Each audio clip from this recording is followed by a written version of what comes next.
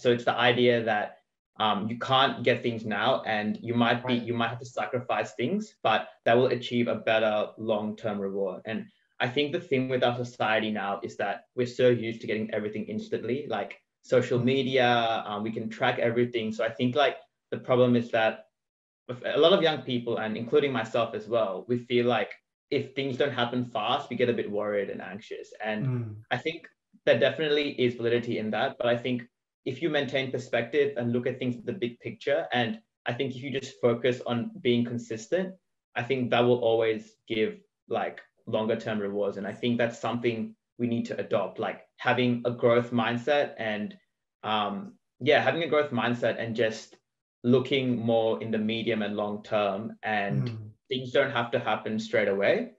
Um, yeah. and I think I think like the other thing is as well is I think it's so important to take care of your mental health, especially now in a time like COVID. Um, I think there's like a lot of issues I think in the industry in terms of burnout, like and people working too hard and yeah. people just feeling lonely. So I think like why, why I, like I'm all for working hard and giving your best shot, but I think like it's so important you like you take care of your mental health and put things into perspective. Like if I fail now, it's not the end of the world. Um, yeah, I'm, I'm, I'm gonna find I'm gonna find a way. Maybe maybe you might need to plan things better. Maybe you need to talk to someone more. But I think like your mental health is of the utmost importance. So I think one thing I would do is, as I mentioned before, Sid, practice gratitude. That's so important. Um, or even even just telling someone you're grateful for them.